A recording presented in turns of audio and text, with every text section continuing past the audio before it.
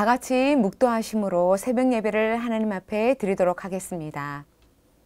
예수께서 이르시되 내 마음을 다하고 목숨을 다하고 뜻을 다하여 주 너의 하나님을 사랑하라 하셨으니 이것이 크고 첫째 되는 계명이요 둘째도 그와 같으니 내 이웃을 내 자신과 같이 사랑하라 하셨으니 이 두 계명은 온 율법과 선지자의 강령이니라.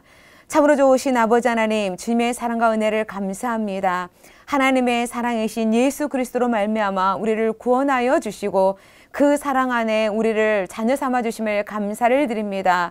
오늘 드려지는 예배를 통하여 살아계신 하나님이 우리를 향하신 그 은혜를 알게 하여 주시옵시고 성령 충만한 가운데 하나님과 함께 동행하는 기아 언약이 성취되어지는 축복의 예배가 되게 하여 주옵소서 예수 그리스도의 이름으로 기원드리옵나이다. 아멘.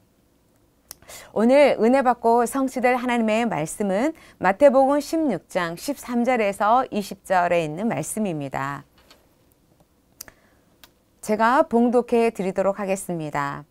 예수께서 빌립보 가이사라 지방에 이르러 제자들에게 물어 이르시되 사람들이 인자를 누구라 하느냐 이르되 더러는 세례 요한 더러는 엘리야 어떤 이는 예레미야나 선지자 중에 하나라 하나이다. 이르시되 너희는 나를 누구라 하느냐? 시몬 베드로가 대답하여 이르되 주는 그리스도시요 살아계신 하나님의 아들이시니이다. 예수께서 대답하여 이르시되 바요나 시몬아 내가 복이 있도다. 이를 내게 알게 한 이는 혈육이 아니요 하늘에 계신 내 아버지시니라.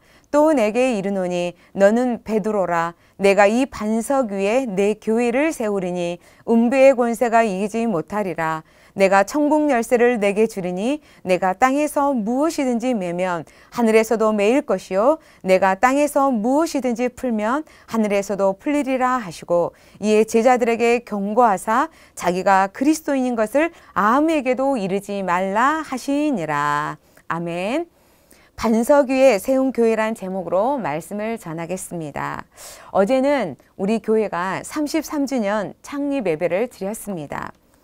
다 함께 모여 드리지 못한 아쉬움은 많이 있지만 한 마음, 한 뜻으로 지금까지 우리 예원교회를 지켜주시고 인도해 주신 하나님 앞에 감사와 영광을 함께 올려드린 줄 믿습니다. 우리 교회는 예수님의 지상 대명령인 전도와 선교를 어, 위해서 세워졌고 이 축복을 함께하며 누리도록 저와 여러분, 우리 사랑하는 성도님 한 분한 한 분을 하나님께서 불러주셨습니다. 또한 이 사명을 잘 감당하도록 하나님께서는 모든 것을 예비하여 인도해 주실 것이고 세계 복음화라는 귀한 언약, 전도와 선교의 사명 끝까지 우리 교회를 또 우리 모든 성도님들을 하나님께서는 사용하시고 우리 후대를 사용하셔서 영광을 받으실 줄 믿습니다. 다시 한번 어, 우리가 하나님이 주셨던 전도와 선교의 영적 초심을 어, 잃어버리지 아니하고 회복하고 감사함으로 항상 깨어서 오직 그리스도의 유일성을 땅 끝까지 증거하고 세계 빈 곳을 향해서 내가 여기 있사오니 나를 보내소서라고 고백하고 쓰임 받는 절대 제자의 축복을 누리는 우리 예원의 모든 성도님들이 되시기를 주님의 이름으로 어, 축원드립니다. 오늘 본문은 예수님이 베드로의 신앙 고백을 들으시고 이 반석 위에 내 교회를 세우리라고 말씀하셨습니다. 반석 위에 세우는 교회. 이 교회는 어떤 교회일까요? 바로 길이요, 진리요, 생명이신 예수가 그리스도 되심을 믿는 올바른 신앙 고백, 즉 영적 진리에서 세워진 교회를 말합니다. 오직 예수 그리스도만 증거하여서 생명을 살리는 교회가 예수님이 원하시는 교회요. 또 반석 위에 세우신 예수님께서 세우신 어, 교회인 줄 믿습니다. 첫 번째, 교회의 플랫폼입니다. 오늘 본문에 예수님은 제자들에게 묻습니다. 사람들이 나를 누구라 하느냐? 왜 이 질문 하셨을까요? 예수님은 이 땅에 십자가의 어, 죽으심으로 또 부활하심으로 인류를 구원하셔야 할 사명을 가지고 오셨습니다. 이제 십자가를 지셔야 할 시간표가 다가옴으로 인하여 예수님께서는 영적 본질을 제대로 알고 있어야 할 제자들이기에 어 이제 준비시키기 위하여서 우선적으로 물어보신 것입니다. 사람들은 예수님을 광야에서 메뚜기와 석청을 먹으면서 청빈하게 살아가고 또 회개와 사회 운동을 하는 어, 요 세례 요한으로 어, 예수님을 보고 있었고 또 죽은 자를 살리고 3년 6개월 동안 비도 멈추게 하는 그 능력, 그 기적을 어, 행한 엘리야로 보았고 또 눈물의 선지자 에레미야로 박애주의를 정말 이끌어가며 사람을 사랑해야 되고 나라를 위하여서 울며 기도한 바로 이 에레미야 선지자로 또 선지자 중에 한 사람으로 보았습니다. 사실 영적으로 보면 이것은 복음의 본질이 아닌 것입니다. 당시 사람들은 예수님을 로마 압제에서 해방시켜 주시고 또 자신들의 가난함을 또 배고픔을 채워주고 해결해주는 정치적인 바로 구원자 또 경제적인 구원자로 보고 있었습니다. 한마디로 예수님을 종교적으로 또 육신적인 시각과 관점으로밖에 보지 않았다는 것입니다. 우리가 현장에 가면 짧게는 몇 년에서 몇십, 몇십 년 내가 교회를 다녔는데 지금은 어, 교회를 나가지 않고 신앙생활을 하지 않는다는 분들을 어, 만나게 되어집니다. 물어보면 내가 몸이 너무나도 아파서 교회를 열심히 다니면서 열심히 어, 기도하면서 고쳐달라고 기도했는데 병이 안 났더라. 이번 일만 잘 되어지면 내 사업이 잘 풀리면 교회 열심히 더 나가고 예수 잘 믿겠다고 했는데 아무런 변화가 없더라. 어, 그래서 나는 이제 교회 끊었다. 교회 안 나간다. 라는 그런 분들이 계십니다. 이런 것은 성경적인 신앙이 아닌 잘못된 기복적 신앙입니다. 예수님이 우리의 구원자로서 살아계신 하나님의 아들이심을 깨달아 고백하는 참 복음의 본질이 중요한데 이 본질을 놓쳐버리고 육신적인 그 세상적인 소론적인 그 개념으로 예수님을 보고 복을 받기 위하여서 다니기 때문에 어, 신앙들을 온전하게 성장하지 못하고 놓쳐버리는 것이 되어지는 것입니다. 일반 사람들이 말하는 소리를 듣고 난 후 예수님은 제자들에게 묻습니다. 너희는 나를 누구로 어, 하느냐라고 물을 때 베드로가 주는 그리스도시요 살아계신 하나님의 아들이십니다. 이 고백을 들으신 예수님은 너무나도 감동하시고 너무나도 기쁘셨습니다. 내게 복이 있도다. 이를 알게 하는 것은 내 혈육이 아니요 하늘에 계신 내 아버지시니라 라고 예수님은 말씀하셨습니다. 하나님이 깨닫게 해 주시지 아니하면 우리는 예수님을 그리스도라고 고백할 수도 없고 하나님을 만날 수도 없습니다. 하나님을 알 수도 없습니다.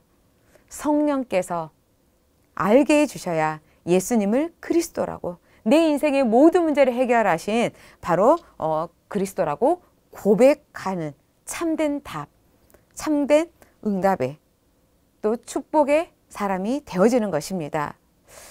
예수가 나의 인생의 모든 문제를 해결하시는 그리스도라고 답이 난 사람은 우리가 언약의 여정을 살아가고 참으로 인생의 여정을 살아가면서 원치 않았던 문제 또 여러 가지 시험들이 다가온다 할지라도 그거와 상관없이 괜찮고 주님과 함께함으로 모든 것이 합력할 소원을 이루고 하나님의 뜻만이 이루어지는 일 속에 아름답게 사용받고 승리한 인생이 되어지는 것입니다.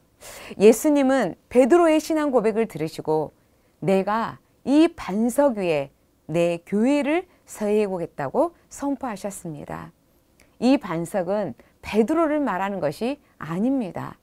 바로 베드로의 신앙 고백이 반석이 되는 것입니다. 이 복음의 컨텐츠 위에 세워져야 교회가 든든하게 서게 되어지고 어떠한 문제가 일어나지 않고 되어지지 않습니다. 교회의 플랫폼은 교회의 본질은 사람이 아닌 예수 그리스도이십니다. 이 교회 위에 우리 예수님은 음부의 권세가 이기지 못하리라고 말씀하시면서 바로 교회가 탄생하게 되었는데 교회는 우리 주님이 세우신 것입니다. 음부, 흑암의 권세, 죽음의 권세가 이기지 못하도록 하나님은 올바른 마태복음 16장 16절의 그 믿음의 고백한 영적 성전인 여러분들을 통하여서 하나님의 나라가 확장시켜 주시고 237의 현장 가운데 많은 영혼들을 살리고 또 이 고백한 성도들이 모여 있는 우리 예원교회를 통하여서 하나님은 이 언약을 성취해 나가실 줄 믿습니다. 또한 살아계신 하나님의 아들이시다라고 어, 베드로는 고백을 했는데요. 여기에는 예수님의 신적 속성을 증거하는 것입니다. 빌립보서 또 2장 5절을 보면 하나님의 본체시나 하나님과 동등됨을 여기지 아니하시고 또한 완전한 인간인 것을 말씀하고 계십니다. 다른 신들은 살아있지 아니하고 하나님만이 참 신이심을 고백하는 어, 고백이 들어 있습니다. 예수님께서 빌립보 가이사라에서 이 고백이 나오도록 하신 이유가 있습니다. 예수님에게는 우연이 없습니다. 하나님의 자녀인 저와 여러분에게도 어떠한 문제와 어떠한 응답도 우연이 아니라 하나님의 절대 계획, 절대 주권 속에서 이루어지고 있는 것입니다. 이 빌립보 가이사라 이 지역에서는 목양의 신을 숭배하는 곳으로 또 분봉왕이었던 빌립이 황제에게 잘 보이기 위하여서 여기, 여기에다가 로마 황제 가이사를 위하여서 숭배하는 신전을 세우고 자신의 이름을 합쳐서 지명하는 곳. 한마디로 말하면 우상과 흑암이 난무한 현장이었습니다. 이 현장에서 하나님의 아들이라고 선포한 것. 이것은 모든 이 지역에 흐르는 모든 흑암의 어, 저주가 꺾이고 또 흑, 흑암의 문화가 꺾이는 것으로 하나님의 나라가 임하는 것입니다. 예수의 생명을 가지고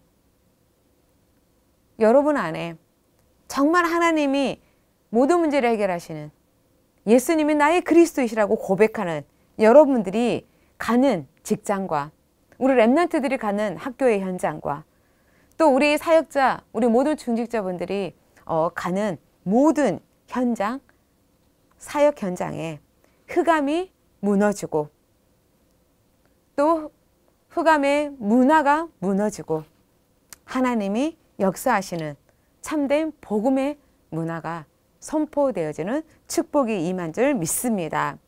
교회가 존재해야 할 이유. 바로 교회의 플랫폼.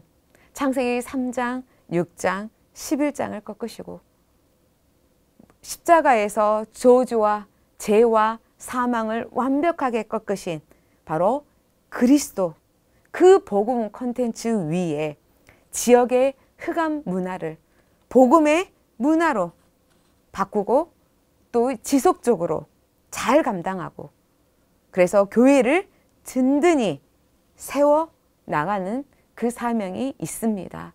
이 사명이 바로 우리 사랑하는 예언의 모든 성도님들에게 하나님이 주신 것입니다. 그래서 이 일에 일심, 전심 지속하여서 하나님께서는 우리 예언교회 또 영적 성전인 여러분들을 통하여서 증인의 삶을 살아가고 오직 예수 그리스도의 고백을 선포하며 많은 영혼들을 주께로 돌아오는 일 속에 쓰임 받는 축복의 증인들이 되게 하실 것입니다. 두 번째는 237의 어, 플랫폼입니다. 교회의 사명은 전 세계를 살리는 바로 237 플랫폼입니다. 이 사명을 감당하기 위해서 교회에 주신 것이 바로 하나님이 음부의 권세가 이기지 못하리라. 이 음부의 권세가 이기지 못하는 그 권세를 허락해 주셨습니다. 그러면서 천국 열쇠를 주셨는데 어, 이사야 22장 22절을 보면 다윗의 집에 열쇠를 주리니 그의 어깨에 두리니 그가 열면 닫을 자가 없고 닫으면 열 자가 없으리라. 하나님은 교회에 천국 열쇠를 주셨습니다. 이 천국 열쇠의 주인이 바로 누구냐? 예수 그리스도이십니다. 예수님을 통하지 않고는 아무도 천국에 들어갈 수 없고 죄 문제 해결할 수 없고 구원 절대로 없습니다. 사도행전 4장 12절에 말씀하고 있습니다. 천하 사람 중에 구원 얻을 만한 다른 이름을 우리에게 주신 일이 없다라고 말씀하셨습니다. 그래서 예수 그리스도만이 하나님을 만나는 길이요, 진리요, 생명이고 영원한 천국, 영생의 축복을 누릴 수 있도록 주인 되어 주시는 바로 천국 열쇠의 주인이십니다. 또한 천국 열쇠는 하늘 문을 여는 열쇠로 예수 그리스도의 이름으로 기도할 때 참된 기도의 응답을 어, 받게 되어집니다. 하늘과 땅에서 매이고 풀리는 역사가 가진 여러분들, 올바른 신앙 고백하는 여러분들의 기도를 통하여서 풀어지고 묶는 역사가 있게 되어지는 것입니다. 하나님은 우리의 인격, 우리의 수준, 우리의 그와 상관없이 예수 그리스도 언약 붙잡고 기도할 때 하나님께서 역사하시고 인도하시고 이끌어 가십니다. 우리의 기도가 정말 하나님 영혼을 향하여서 있는 기도, 하나님의 나라를 위하여서 선포하는 기도, 하나님의 뜻이 이루어지는 그 기도, 전 세계의 모든 만민이 하나님을 알고 예수 그리스도를 믿어 영원한 생명을 얻는 그 은혜 가운데 거할 수 있는 우리의 기도가 되어지기를 어, 바랍니다. 천국문을 여는 유일하신 바로 열쇠이신 예수 그리스도이시기 때문에 아직도 우리 주변에 많은 사람들이 이 사실을 모르고 있습니다.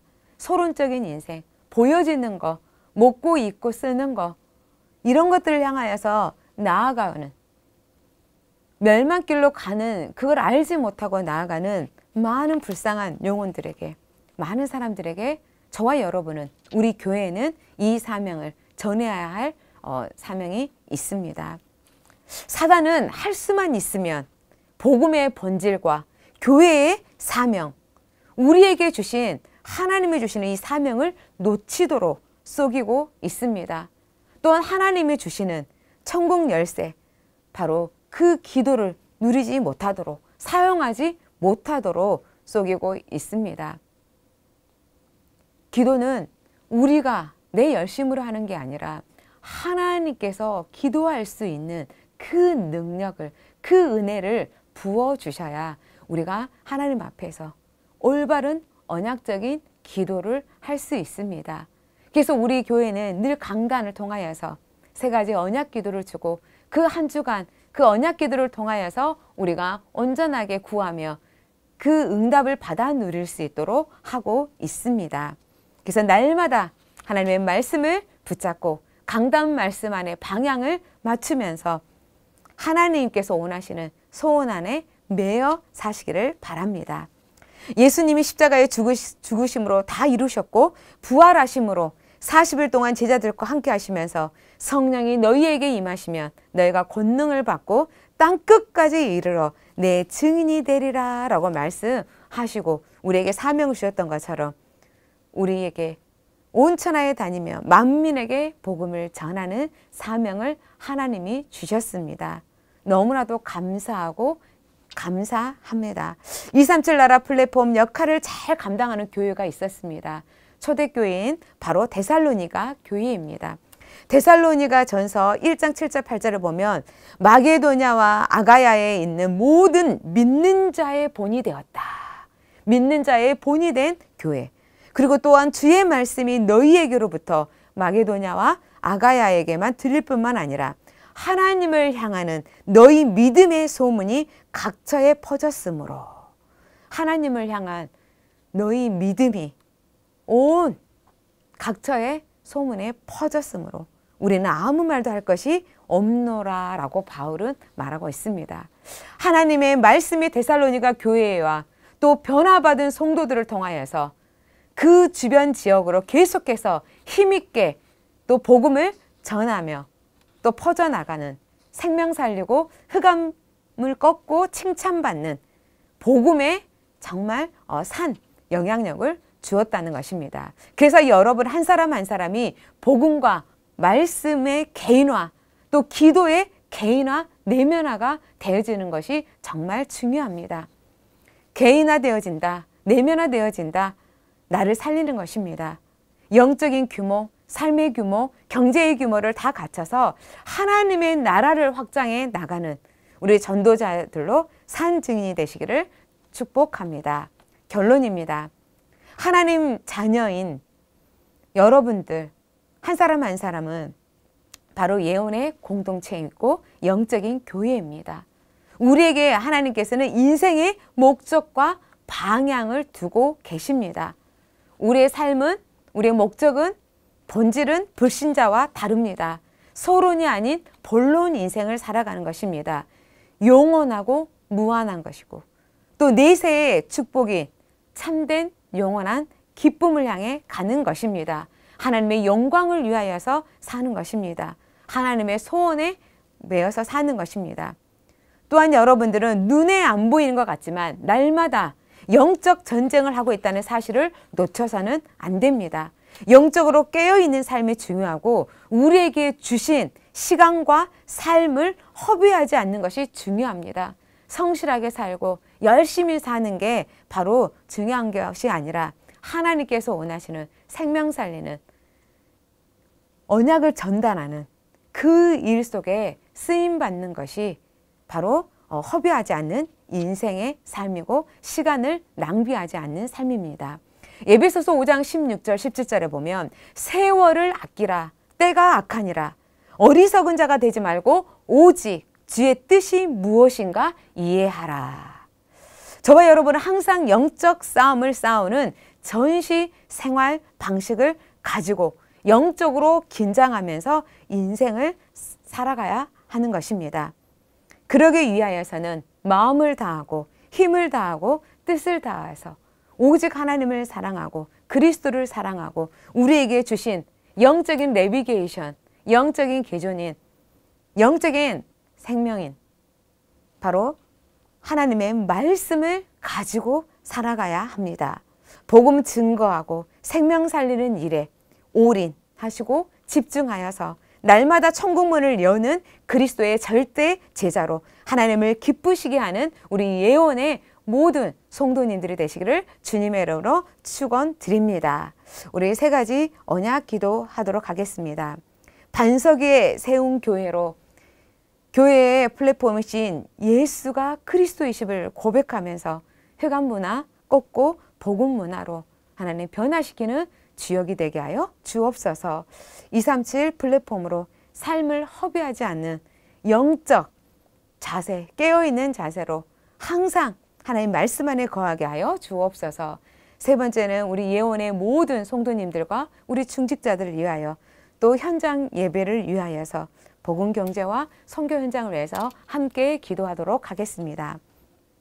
참으로 좋으신 아버지 하나님 감사합니다. 주는 그리스도시요 살아계신 하나님의 아들이십니다. 라고 아버지 하나님 고백한 아버지의 이 올바른 신앙 고백 위에 예수님께서 우리의 교, 예수님의 교회를 세워주시고 하나님께서 허락하시는 천국 열쇠를 주심으로 우리가 가는 현장마다 생명 살리는 축복의 증인이 되게 하여 주심을 감사를 드립니다. 아버지 하나님 교회에서의 플랫폼으로 아버지 하나님의 우리 리삼칠의 플랫폼으로 주님께 세우셨사오니 아버지 하나님 우리 모든 어, 가는 현장마다 아버지 흑암의 문화가 꺾여지게 하시고 복음의 문화가 일어나 아버지 하나님의 기쁨이 되게 하여 주시옵시고 237의 현장을 살릴 수 있도록 주님께서 역사하여 주심을 믿습니다. 아버지 하나님 주님께서 우리 예언의 모든 성도님들을 축복하여 주시옵소서 복음의 경제가 임하게 하시고 아버지 하나님께서 허락하신 이 본당이 온전하게 헌당이 되어져서 마음껏 세계복음화를 위하여 아버지 하나님 힘있게 아버지 하나님의 선교하며 전도할 수 있도록 하나님께서 모든 문들을 열어 주시고 아버지의 믿음의 눈을 떠서 하나님께서 보시는 빈 곳을 향하여서 나아가는 아버지 하나님이여 현장 전도 제자들이 되어질 수 있도록 축복하여 주시기를 원합니다. 또한 영육의 아버지 하나님 질병 가운데 아파하는 우리 사랑하는 성도님들을 주님께서 위로하여 주시옵시고 이 문제를 통하여서 예수가 그리스도심을 다시 한번 고백하고 아버지 하나님 선포되어지고 하나님의 치유가 되어지고 아버지 하나님께서 허락하시는 참된 복음의 아버지 하나님이여 치유 24 제자의 응답을 받아 누릴 수 있도록 축복하여 주시옵소서. 아버지 하나님 코로나 아버지 하나님 모든 환경들이 아버지 하나님의 은혜 가운데 정식되어지고 아버지 하나님께 함께 예배드리며